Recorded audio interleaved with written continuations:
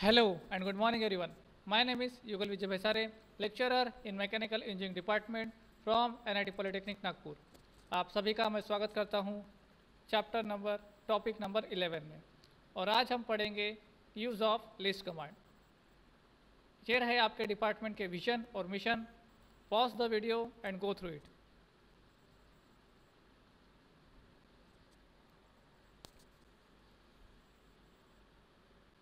so I hope आप सभी ने इसको पढ़ लिया होगा। This are the programme outcomes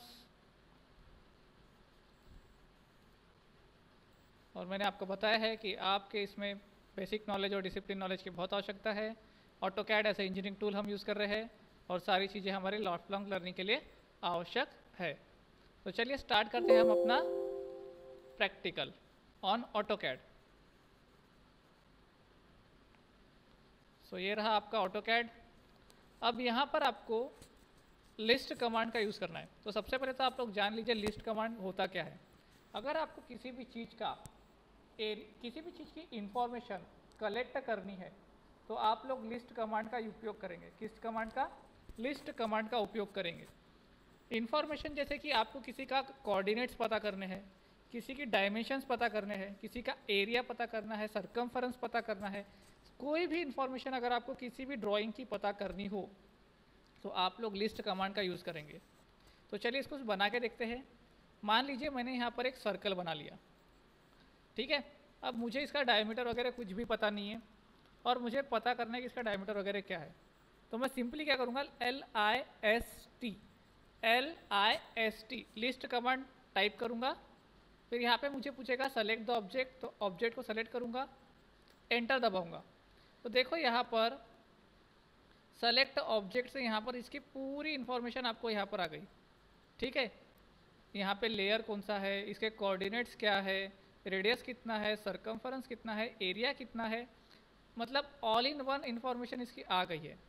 आप अगर चाहते हो कि ये इन्फॉर्मेशन ऑटो कैड पर आपके शीट पे, आपके छप के आए तो आप क्या करेंगे? सिंपली यहाँ से इसको कॉपी करेंगे। कंट्रोल सी यहाँ पर आएँगे और कंट्रोल वी करके इसको पेस्ट कर देंगे।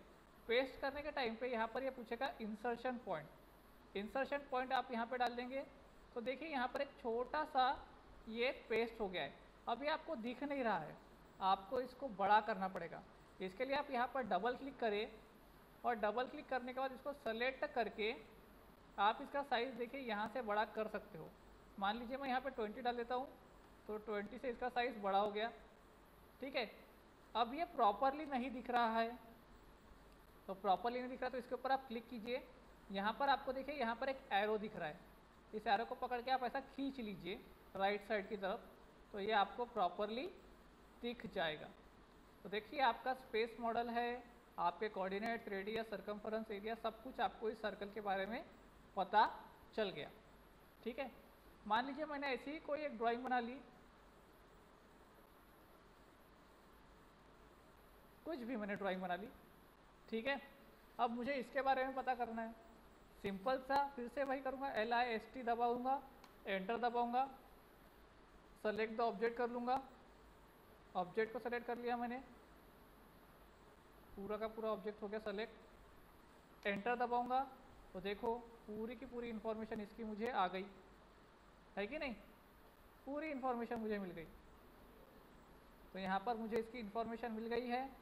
यहाँ से मैं इसको करूँगा कंट्रोल सी यहाँ पर करूँगा इसको कंट्रोल वी और यहाँ पर इसको पेस्ट कर दूँगा।